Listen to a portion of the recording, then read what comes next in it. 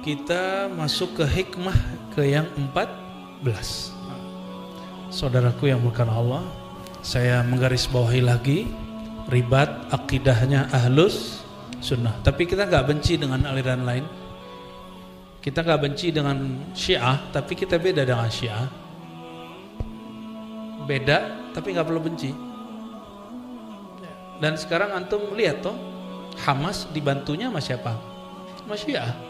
Dulu saya katakan begitu, saya diserang oleh beberapa yang ngakunya juga ahlu sunnah. Ya, nggak ada ceritanya Syiah kafir loh sekarang pejuang Hamas dibantu oleh orang-orang Syiah dan orang diem-diem aja tuh. Ketemulah yang kita kalamkan dulu bahwa Imam Syahrostani menyebut Syiah itu minal muslimin. Bagian dari kelompok Islam tapi beda dengan kita. Apa perbedaannya? Ada banyak dalam bab e, memahami sifat Allah ada beberapa perbedaan dalam memahami kemaksuman imam. Imam itu maksum atau tidak? Maksum terjaga dari dosa atau tidak? Dan yang kedua yang ketiga bab takdir. Mereka dekat ke Mu'tazilah. Dan yang paling penting bab kemahdian.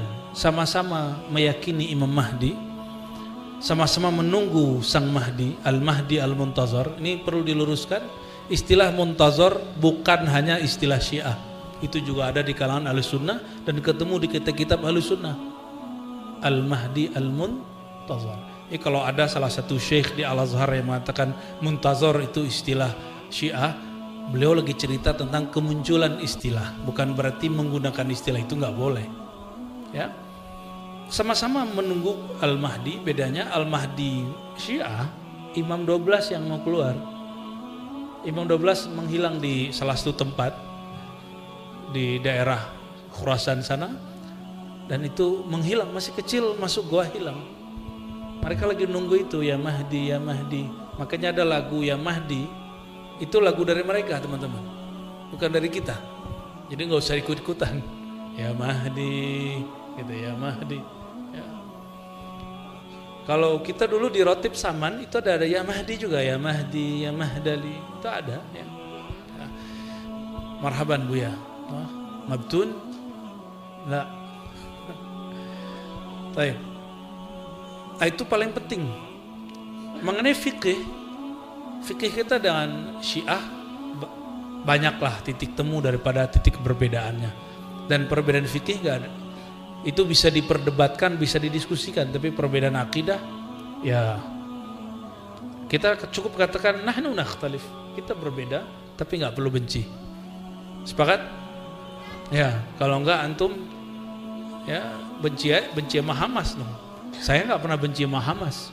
Cuma saya mengatakan saya berbeda pergerakan dengan Hamas. Ya. Saya nggak nunggu pergerakan itu, tapi nunggu pergerakan yang yang sifatnya lebih umum, tapi kita cinta dengan orang Palestina, mau dia Hamas, mau dia Fatah. Uh, tapi orang-orang biasa, ada yang dia ideologi dia terganggu ketika saya mengatakan begitu, kita kemudian dipersoalkan oleh mereka dan kita dituduh nggak pro Palestina lah, kita pro Palestina. Ya. Nah, terlepas dari itu semua teman-teman, kita jangankan kepada Hamas yang masih Sunni, Syiah pun kita nggak kafirkan. Ya. Beda dengan kelompok Wahabi yang mengkafirkan Syiah dan menulis buku bahwa Syiah itu agama sendiri. Mereka nulis buku Adinus Syiah, agama Syiah dan itu saya nggak sepakat. Syiah itu terbagi tiga.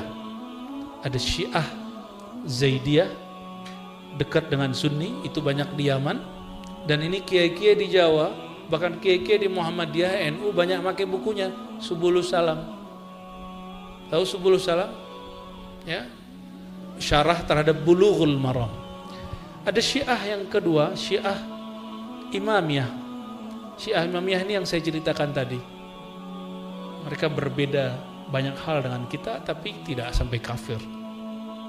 Yang kafir itu itu kelompok ketiga. Syiah yang yang mengatakan bahwa Sayyidina Ali sebenarnya Rasul yang harusnya dapat wahyu tapi Jibril salah kirim. Nah, itu namanya Syiah Gulat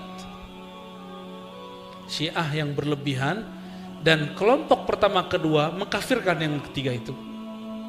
Jadi kita ahlu sunnah nggak perlu rempong-rempong ngurusin mereka. Karena kelompok syiah pertama dan kedua mengkafirkan mereka. Apalagi kita gitu ya.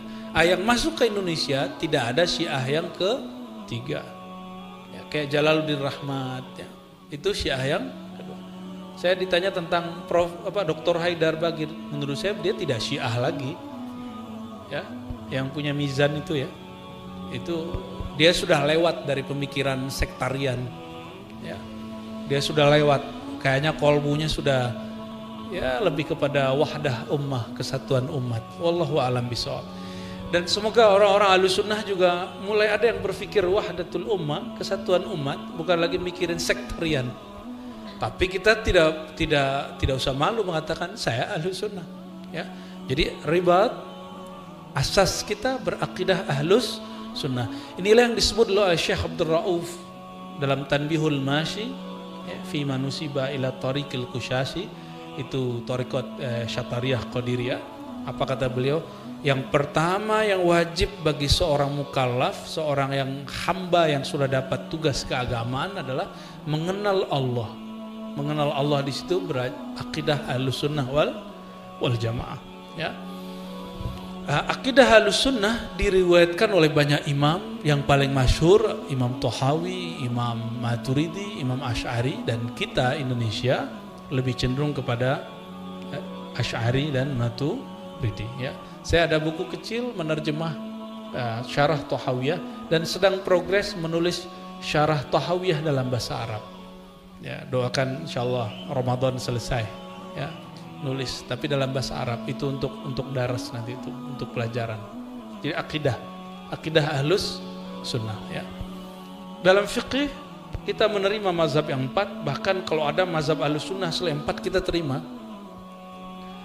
Ada dulu mazhab ishaqi. Pernah dengar nggak? Nggak dengar ya?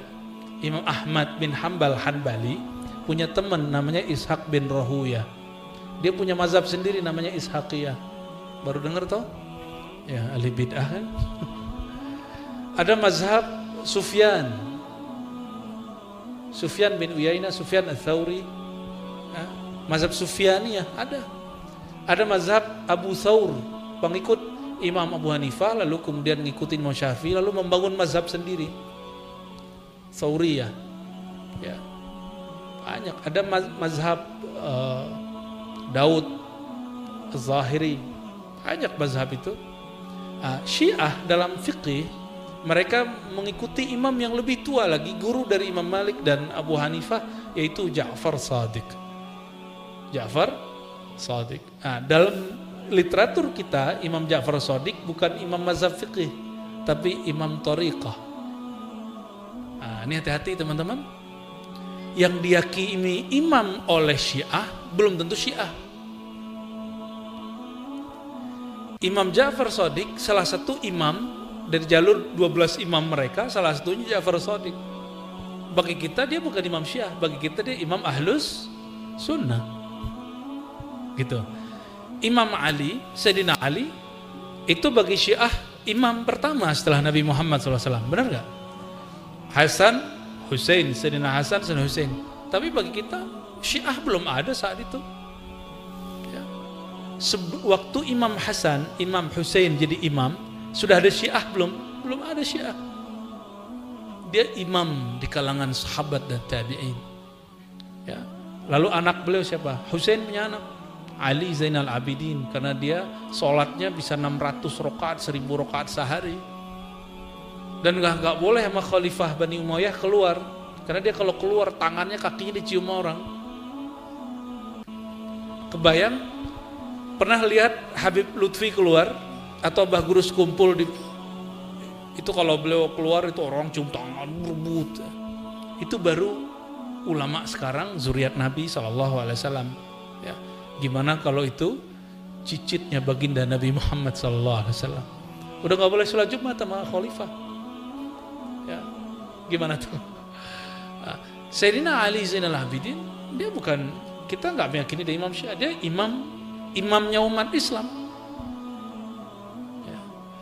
Jadi uh, inilah dari beliau lah turun sekarang zuriat zuriat Nabi Sallallahu Alaihi Wasallam juga Sayyidina Hasan. Nah, dalam tasawuf kalau di fikih ada mazhab dalam tasawuf ada toriqoh manhaj toriqoh kita manhaj Imam Junaid.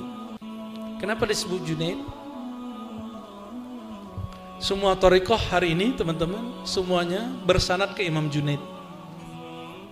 Bersanad ke Imam. Jadi kalau dicek silsilahnya ke Imam Junaid. Lalu apalagi manhaj Imam Junaid Abdul Hasan Shazili dan Ghazali. Nah, kitab ini kitab hikam ini murid langsung pewaris ilmu Imam Abu Abbas Mursi dari Imam Shazili ya. dan Imam Shazili mengajarkan tentang wahdah mutlaqah mirip dengan Ibnu Arabi tapi beda istilah Bedanya Ibn Arabi dikafirkan oleh orang yang tidak faham, Imam Syazili tidak. Itu aja bedanya. Maka kemudian oleh Imam Ibn Atta'illah, ini ajaran kemudian dijinakkan. Ya.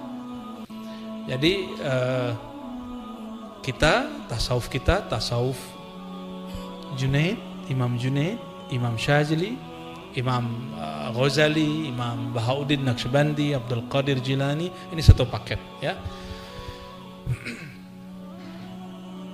produk dari ilmu itu muncullah kitab Hikam Ibnu Atta Ilah Skandari.